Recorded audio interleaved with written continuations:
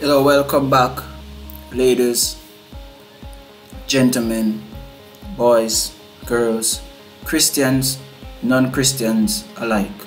Welcome. We're here to continue our study on the seven seals, right? We're doing part two of seal number three, right? Now, as customary, let's ask our question.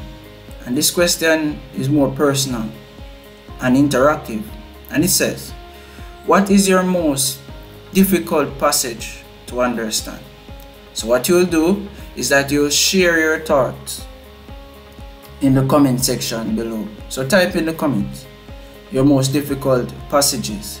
And who knows, maybe in the future, right, I'll do a video I'm addressing these difficult to understand passages. Now, before we get into our third seal study, part 2, let us pray and ask the presence of God to be with us. Most kind, ever loving Father and our God, as we come before you once more to look at your words, Father, give us clear insights. Father, give us the message that you would have wanted to convey. Father, let us be transformed and changed by this message. In Jesus' name I pray. Amen. Amen. And as we were saying, the third seal, part two. Um, let's recap what we did in the last study. Um, in the last study, we look at the symbols under the third seal. And we recognize that ours symbolize church, as always. Black is moral and spiritual darkness, right? That we call apostasy. Right, the rider and the black horse was God. Balance is, used to judge. We look at that. Famine for the word, right? We see that's what the symbol um, food, where it was broken down to be. Right, we recognize that oil is a symbol of the Holy Spirit, and we looked at wine is a symbol of Christ salvation. So that was what we learned from the symbols um, last study of the third seal. Now, the time period of the third seal, we did not mention that in our last study. Right, that's the first issue um, that we want to look at in our presentation today. Now, AD 313 to the 1500s, right, this is the time period, right, that the third seal covered. Now, you ask why, and it's because of this, right, the Edict of Milan, which we look at under the second, the close of the second seal, um, we hinted at it the last time, right, the Edict of Milan was signed in 313 AD between Licinius and Constantine. And this bring toleration for the Christians. So this bring an end to right the second seal persecutions mentioned in the second seal right? So this was a start. 313 AD was a start of the third Ars period right? And it was ended in the 1500s right? And it was ended with the start of the Protestant Reformation. And why the Protestant Reformation? Is because the Protestant Reformation where it was seeking to bring back some legitimacy or bring back the church to the place it was in the apostolic times right? And so when the apostasy of the third seal right would have been reformed right it's at this time then the the third Ars period would have ended right? And so that's why we we look at the timeline being 313 AD to 1500 AD, right? So let's go forward some more. Now, the Apostle Paul talking to the church at Thessalonica in Second Thessalonians chapter 2, right? This passage in Second Thessalonians chapter 2 it talks primarily about the anti-Christian power, what we call the Antichrist. And so when we have gone through Second Thessalonians 2, when we have gone through our study today, without a shadow of a doubt, you will be able to identify which system is the Antichrist system. Let us go. Verse 3 Let no man deceive you by any means, for that day shall not come, except there come a falling away first, and that man of sin be revealed, the son of perdition, who oppose and exalt himself above all that is called God or that is worshipped, so that he as God sitteth in the temple of God, showing himself that he is God. For the mystery of iniquity doth already work, only he who now letteth will let until he be taken out of the way.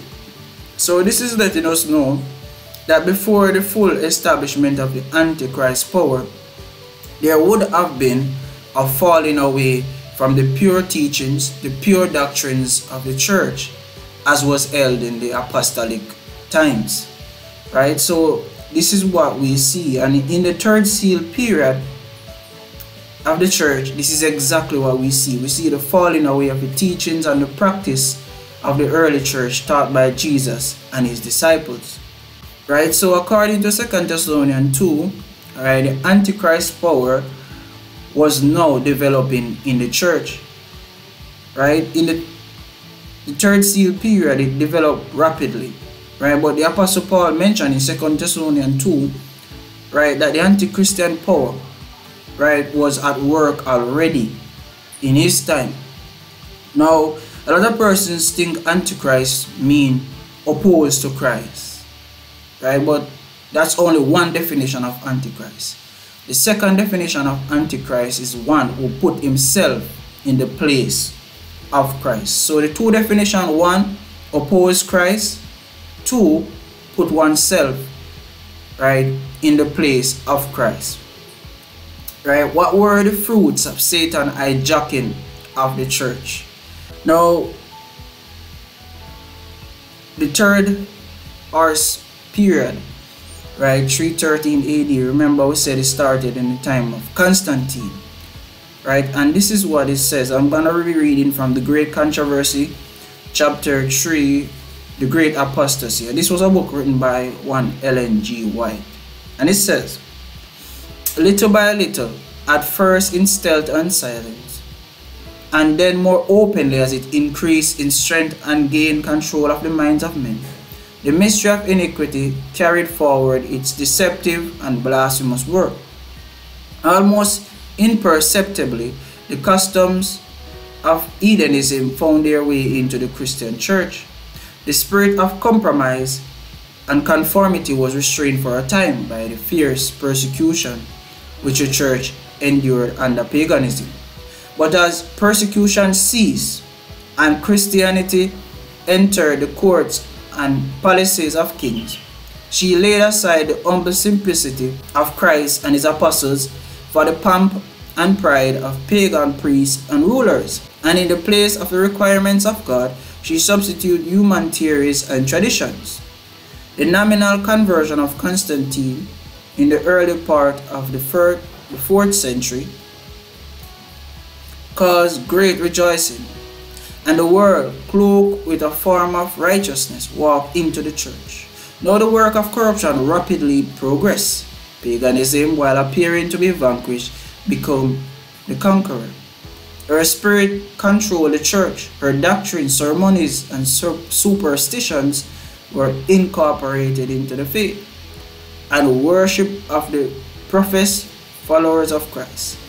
This compromise between paganism and Christianity result in the development of the man of sin foretold in prophecy as opposing and exalt himself above God.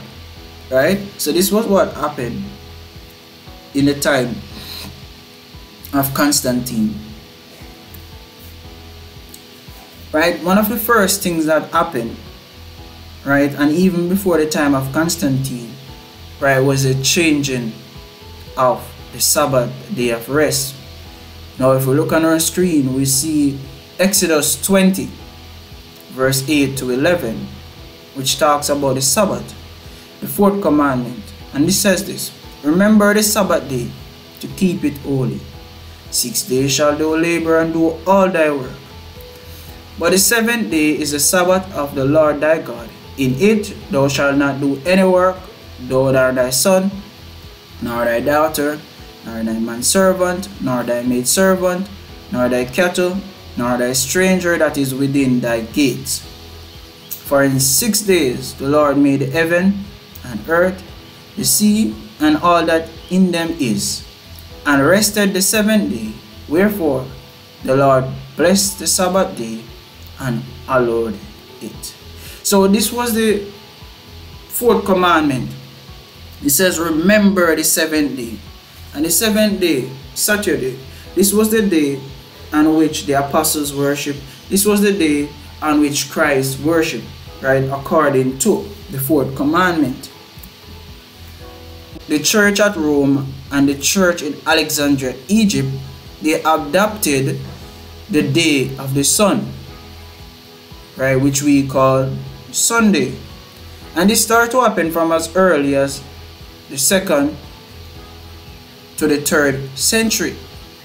Right, this was when the church at Rome and the church at Alexandria start to worship instead of the seventh day Saturday, they start to worship on the first day um, Sunday. AD 321. Why important? Right, in AD 321, right, as we know, the Emperor Constantine, right, made a decree a Sunday rest decree. And he says, All judges and city people and the craftsmen should rest upon the venerable day of the sun. Country people, however, may freely attend to the cultivation of the fields because it frequently happens right that no other day are better adapted for planting the grain in the furrows and the vines in trenches so that the advantage given by heavenly providence may not, for the occasion of a short time, perish. This was Constantine, right, decree, right, that those in the cities, they should rest on the venerable day of the sun. While it was not so much a religious uh, requirement at 321, it would later on become right, a religious requirement. Now, it says this, the Sunday law was officially confirmed, right? So they, later on after Constantine, there was a Sunday law that people should rest on the first day of the week as opposed to the seventh day of the week, right? Notice what it says the Sunday law was officially confirmed by the Roman papacy. The Council of Laodicea in AD 364 decree, Christians shall not Judaize and be idle on the Saturday, but shall work on that day. But the Lord's day they shall especially honor, and as being Christians, shall if possible do no work on that day. If however they are found Judaizing, they shall be shut out from Christ. Right? So this was what happened AD 364 in the Council of Laodicea. And they recognized that the, the primary reason for the Christian church at Rome, right, turning away from the seventh day Sabbath to the first day Sabbath was because they want to look different or feel different from the Jews. Remember, in the time of Christ and the apostles, they were all Jews and God had commanded worship on the seventh day. So because the church at Rome realized that those who were worship on the seventh day were seem peculiar, right? They were seem strange, they were persecuted. So the church, trying to distance itself from the Jews, decide, well, let's just outlaw the worship of the seventh day because it's Jewish, right? And we just worship on the first day of the week. Right, and because of that, they turn away from God's seventh day Sabbath, God's fourth commandment, to the first day of the week, Sunday. And then the, in 364 they command everyone to do the same now I want to share a little the Roman Catholic Church right it says this which is the Sabbath day Saturday is the Sabbath day? Right, this is the Roman church. You know? What I'm reading now is from the Converts Catechism of the Catholic Church. And it says this, which is the Sabbath day. Saturday is the Sabbath day. Why do we observe Sunday instead of Saturday?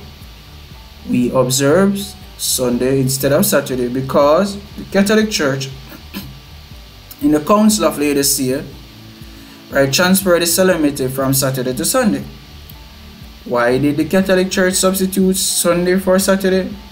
The church substitutes Sunday for Saturday because Christ rose from the dead on Sunday and the Holy Ghost descended upon the apostles on a Sunday. By what authority did the church substitute Sunday for Saturday? It says the church substitute Sunday for Saturday by the plenitude of that divine power which Jesus bestowed upon her. And then he goes on to say, What does the third commandment command? The third commandment commands us to sanctify Sunday as the Lord's day. And there's a problem here. If you notice, this says the third commandment, but what we read in Exodus 20 is actually the fourth commandment.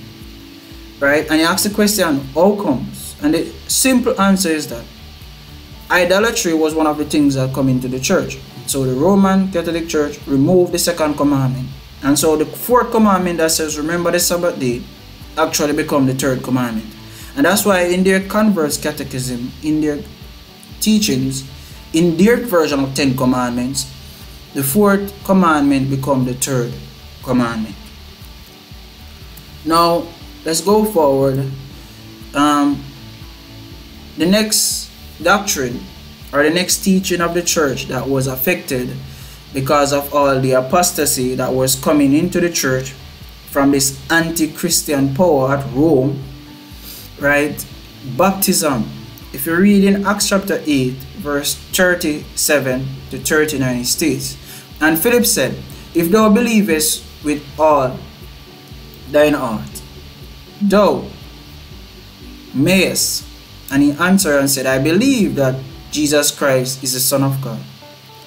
And he commanded the chariot to stand still, and they went down both into the water, both Philip and the eunuch, and he baptized him. And when they were come up out of the water, the Spirit of the Lord caught away Philip, that the eunuch saw him no more. Right? So this was how baptism was done in the early church. It was done by immersion. That's why they had to go down in the water. Right? The Apostle John baptized immersion. All through the, the apostolic period, baptism was by immersion. But when the apostasy started to come into the church, recognize that infant baptism comes in. Right?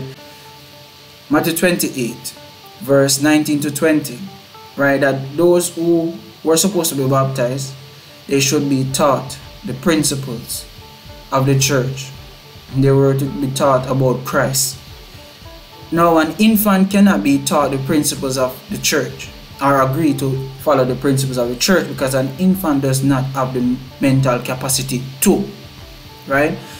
So infants should not be baptized, but in the earliest times in the church, it started to baptize infant. It says the earliest explicit mention of infant baptism in the history of the church is from the African church father Tertullian, who lived from AD 160 to about 220.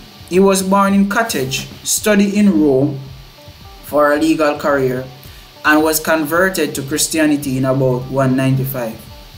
He was the first Christian theologian to write in Latin and exert significant influence through his apologetic work.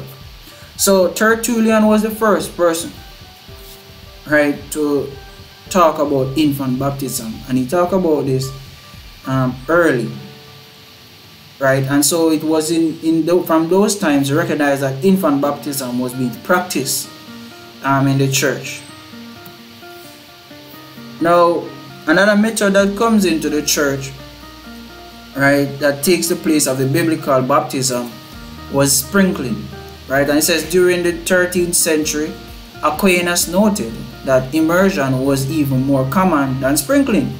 It was not until 313 AD in Ravenna that the first law passed making sprinkling an authoritative baptism. Right? So even up to the 1300, right, baptism by immersion was was prominent, still prominent. But sprinkling started to be practiced in 1311 AD. Now, when I look at the word baptism, for instance, baptism cannot be anything else but by immersion, right? Baptism is from the Greek word baptizo, right, which mean to be immersed in water. That's all it means, right? Baptism can only be by immersion, but we recognize that infant baptism had come in, which um, sprinkling had come in, right? And now we recognize that even pouring, right, comes into the church where person pour water on someone's head and for them to be baptized. With sprinkling, they sprinkle water on someone and they are baptized. So these forms of baptism, right, comes in and, and corrupted and what baptism was supposed to be and what it was in the time of the apostolic church.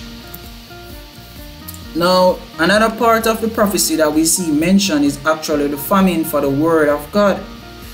Right? How did this famine for the word of God actually take place? Um, let's look.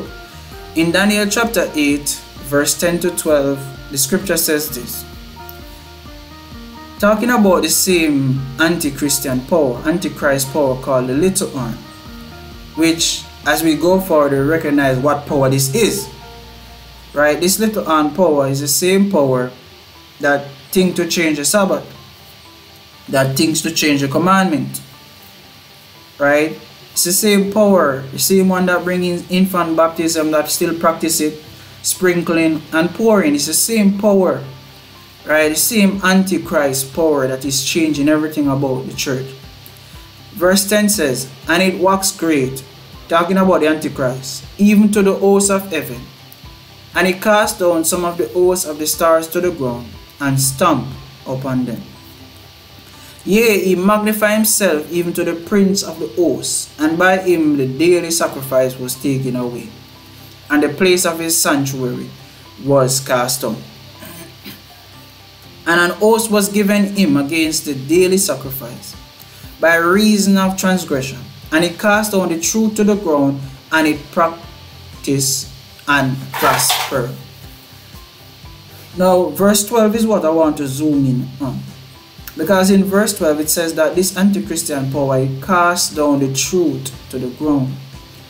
When you read through the scripture, recognize that there are various things that the Bible mentions as being the truth and one of which is John 17 17, which says, Sanctify them through thy truth, thy word is truth. And so, what this is telling me is that the anti Christian power, right, would cast down the Bible to the ground. In other words, it would aim to destroy the Bible and destroy the influence of the Bible.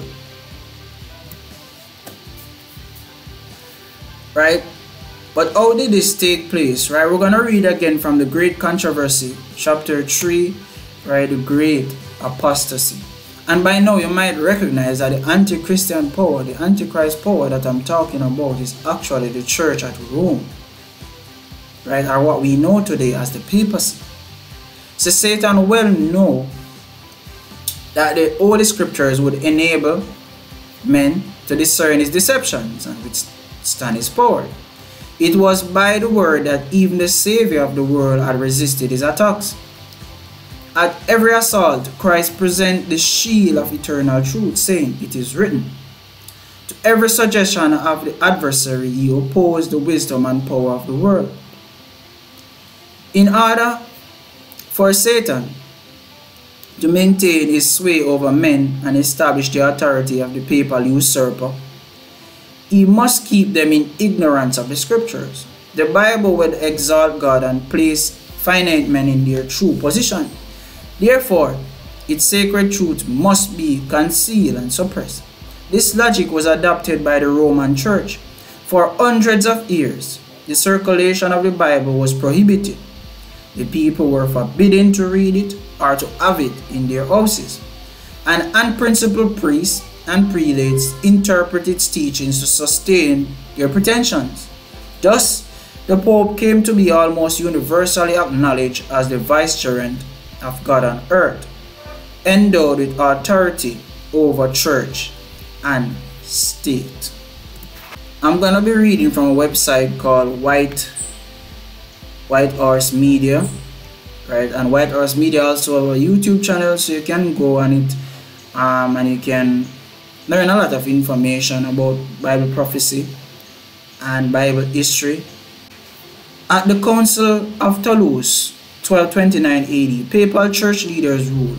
We prohibit laymen possessing copies of the Old and New Testament. We forbid them more severely to have the above book in their popular vernacular. The lords of the district shall carefully seek out the heretics in dwellings, hovels, and forests, and even their underground retreat shall be entirely wiped out. This was from Pope Gregory IX, 1229. Right? Then he says, the Roman Catholic Council of Tarragona also ruled that no one may possess the books of the Old and New Testament in the Roman language.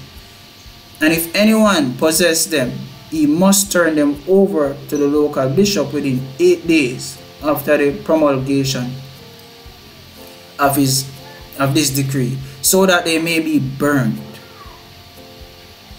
Right? The Council of Trent, 1545 to 1564, put the Bible right as a as a forbidden book.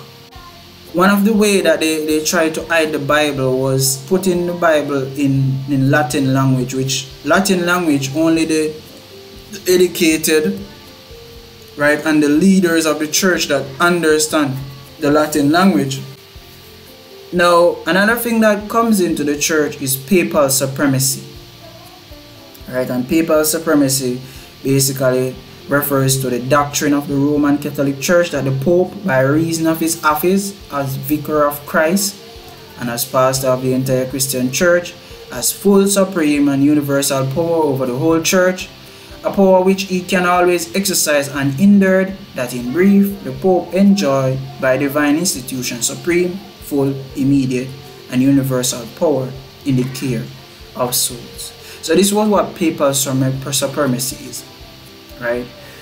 The papacy is supreme, the Pope is supreme, he has supreme authority on the earth over the whole church because he is vicar of Christ. What that means is Jesus Christ on earth.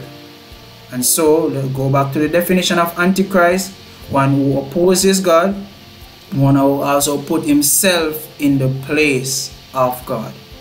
I put himself in the place of Christ right? That's anti-Christian. Now, there was a decree that goes out from Justinian. Now, in 533, Justinian declared the Pope to be the, the leader and the ruler of the Christian church in all the world, and that the, the church at Rome was supposed to be the corrector of heresies. But Justinian had a problem. Um, the emperor at Rome had a problem. And the problem was the Ostrogoths and the Vandals. But in 534, Justinian army managed to destroy the Vandals. But the Ostrogoths over time start to occupy um, in Rome, right? And so because the Ostrogoths were there, the decree of Justinian could not go out in full. And so it was 538 when the Ostrogoths left Rome, they were pretty much defeated by Justinian, that the, the, the Pope of Rome, the papacy, the Roman Church, right, get its full authority. That was 538 AD, right? When Vigilius right, ascended the papal chair under the military protection of Belisarius. And so from that time, the church at Rome, right, with, full authority, full supremacy in our mind, goes out to correct anyone that does not adhere to our teachings. And a lot of times, these teachings were pagan teachings. The Pope Ascension to are claiming of um, supreme power over the church, right, is anti-biblical. Right, when you look at First Peter 2.25, it says, For ye were as sheep going astray, but are now returned unto the shepherd and bishop of ours of your souls. So Christ is the bishop of our souls. Christ is the leader of the church when you read elsewhere in the scripture. But papal supremacy says that the Pope is the head of the church. Now, there were a lot of other errors that comes into the church, right? Like Easter, we know Easter coming to the church. It's a pagan tradition. We know that idolatry comes into the church. Um, praying for the dead, right? Purgatory, limbo, indulgences, um, relics, Christmas, salvation by good works, right? Mass, right? Which was a blasphemous feast, right? And I asked the question, can you think of any other errors that, that had come into the church um, in these in those times, in the time of the third third seal, right? It would be good to know. So just comment in the comment section. Now, the portion of the third seal prophecy says, Earth not the oil and the wine. We look at what the oil and the wine symbolize the last time. We look at the fact that the oil symbolizes the Holy Spirit and that the wine symbolizes Christ's blood being shed for us. Right? The earth, not the oil and wine, tells us that the Holy Spirit would still remain in the church doing his work and that salvation by Jesus Christ's death would remain would remain and as a fundamental teaching in the church. There were persons right who were faithful in the church and this is why the Holy Spirit remained right and this is why salvation in the name of Christ remained. In Jude, the scripture admonish, Beloved, when I gave all diligence to write unto you of the common salvation, it was needful for me to write unto you and exhort you that ye shall earnestly contend for the faith which was once delivered unto the saints. Right? So that's Jude 3. Right? It tells that in time of apostasy, God's people is to earnestly contend for the faith. And in the time of the third seal apostasy, 313 AD, to 1500 AD, right, there were persons who earnestly contend for the faith, right? And the question is, who were these faithful ones? And this is what we're going to look at right here. Now, in Great Controversy, chapter 4, it says, Amid the gloom that's, gloom that settled upon the earth during the long period of papal supremacy, the light of truth could not be wholly extinguished. In every age, there were witnesses for God men who cherish faith in Christ as the only mediator between God and man, who held the Bible as the only rule of life and who allowed the true Sabbath. How much the world owed to these men, posterity will never know. They were branded as heretics, their motives impugned, and their characters malign, their writings suppressed, misrepresented, or mutilated. Yet they stood firm and from age to age maintain their faith in its purity as a sacred heritage for the generations to come. Right?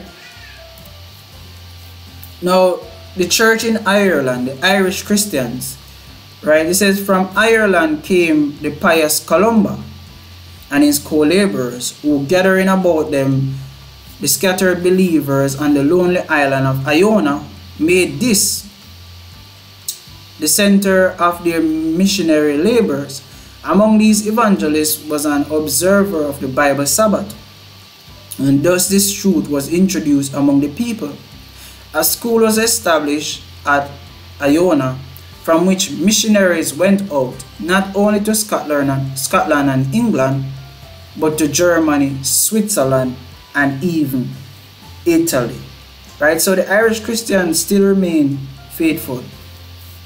The Abyssinian Church, or the church in Ethiopia, says, In lands beyond the jurisdiction of Rome, there exist for many centuries bodies of Christians who remain almost wholly free from papal corruption. They were surrounded by heathenism in the lapse of ages were affected by its error. But they continue to regard the Bible as the only rule of faith and adhere to many of its truths. These Christians believe in the perpetuity of the law of God and observe the Sabbath of the fourth commandment.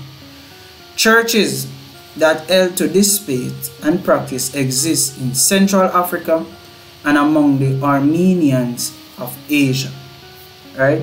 So the Armenian Christians and the church um, in Central Africa.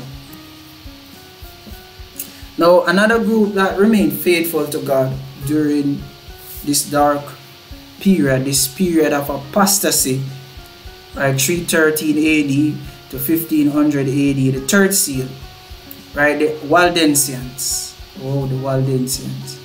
So the faith which for centuries was held and taught by the Waldensian Christians was in marked contrast to the false doctrines put forth from Rome. Their religious belief was founded upon the written word of God, the true system of Christianity. But those humble peasants in their obscure retreats, shut away from the world and bound to daily toil among their flocks and their vineyards, had not by themselves arrived at the truth in opposition to the dogmas and heresies of the apostate church. There was not a faith newly received, their religious beliefs was the, their inheritance from their fathers.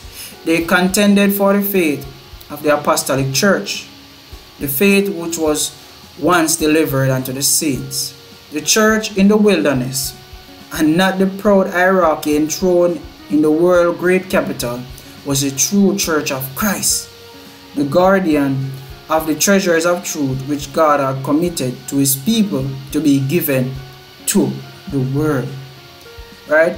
So all these Christian bodies that I've looked at a while ago, they were the ones, right, who were keeping alive, right, the Word of God, the teachings of Christ in the church. And this is why the Holy Spirit was there, and this is why righteousness by faith, Christ dying to save us from our sins, were still in the church. They keep the flames alive and they are primarily the reason right that under the fourth and fifth seal they were primarily the reason why the reformation comes about right to reform the church from its apostasy and errors that it was sunken into.